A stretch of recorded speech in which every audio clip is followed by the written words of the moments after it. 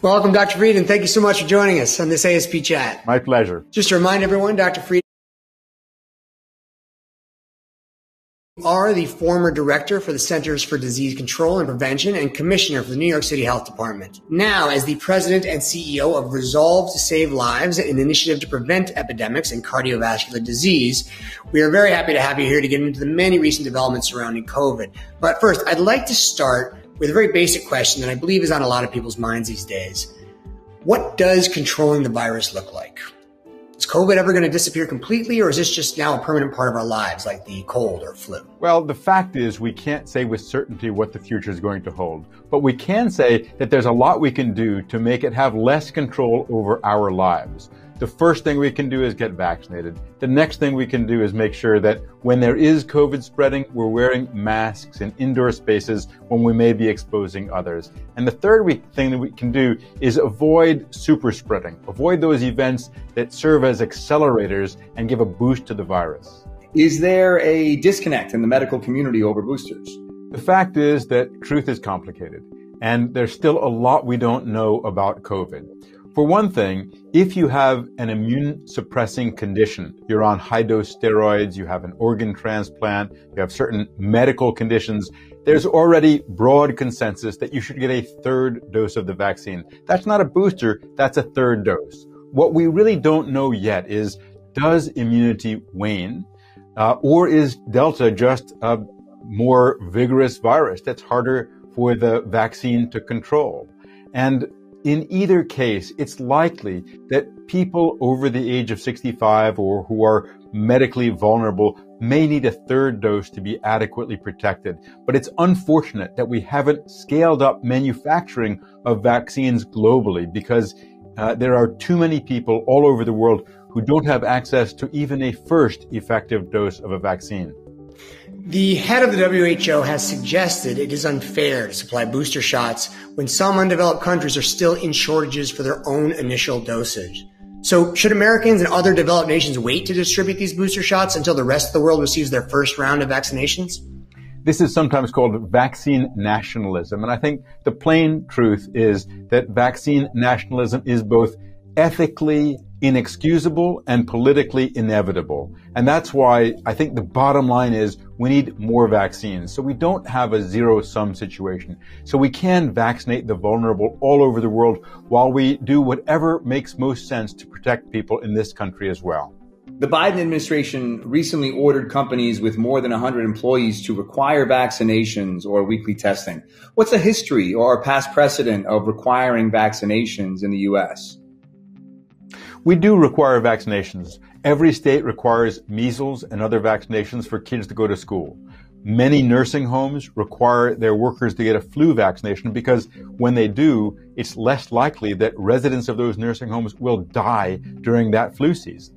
So, uh, vaccine mandates are a well established way of protecting people. I think there's one thing we have to understand. This isn't just about you.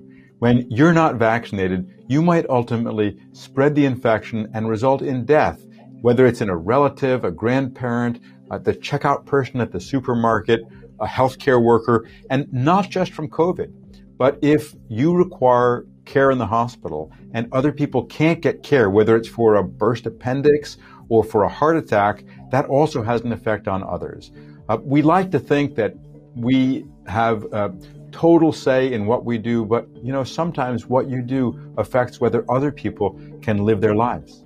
Let me just ask you something about that because I've been hearing this lately as an argument against the vaccine, which is, well, if I can spread COVID anyway, then what does it matter if I get the vaccine if I can handle it? If I'm young and healthy, does getting the vaccine help deter the spread of COVID at all or just if you get very ill?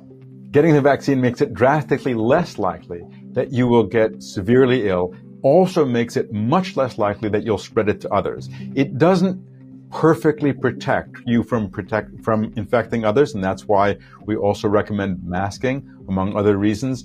Uh, but it, it's going to make it much less likely for you to die from COVID, and much less likely that you will spread COVID to others. So the Los Angeles School Board recently voted to mandate COVID-19 vaccinations for all eligible students over the age of 12.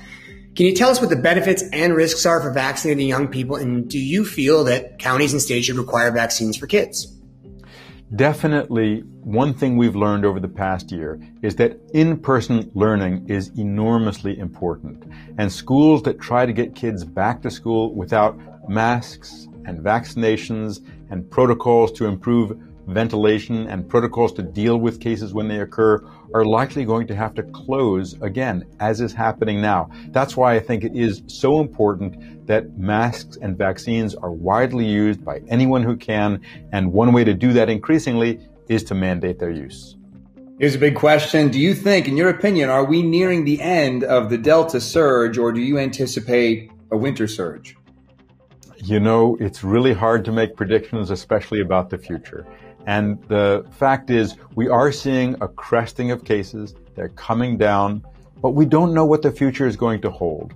What I say about COVID is beyond three or four weeks from now, it's a pure guess.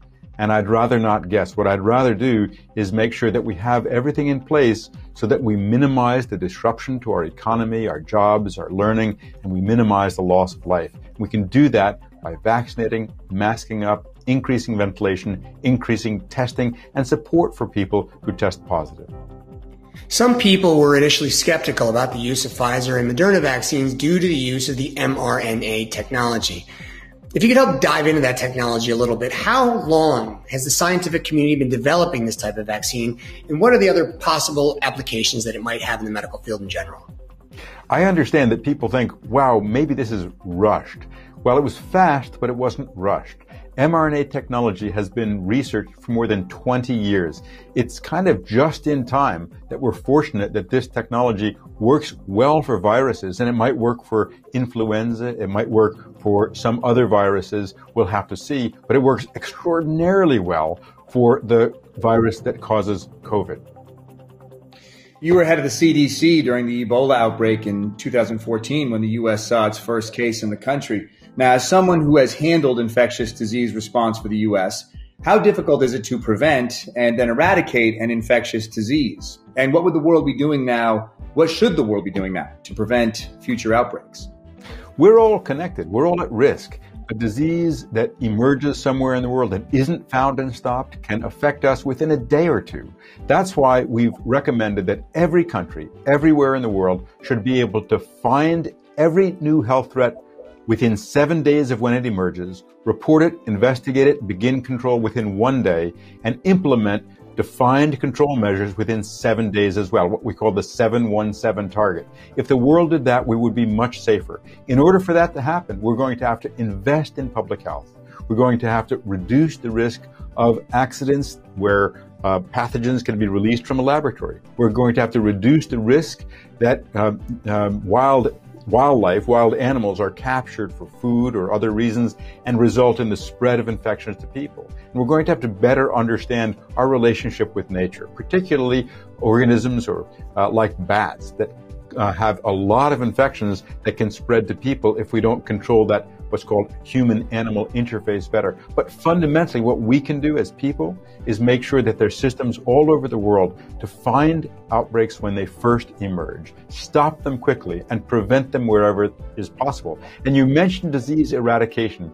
I want to just recall that the world has eradicated smallpox, and that has saved hundreds of millions of lives. Disease eradication isn't possible for all microbes. It's not possible for COVID at this time.